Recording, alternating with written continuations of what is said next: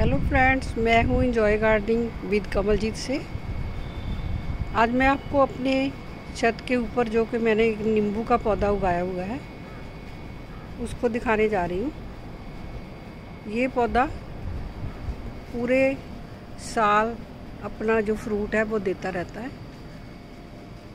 ये देखिए इसको कितने नींबू लगे हैं। और हमारे घर में जो नींबू है, उनकी कभी कमी नहीं होती है। साथ साथ में लगते रहते हैं, पकते रहते हैं और नए आ जाते हैं।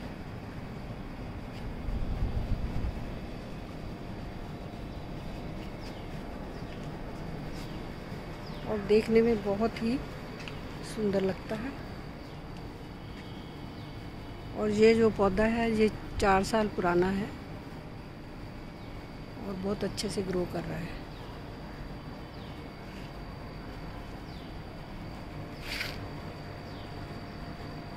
Thank you watching my channel and watching my video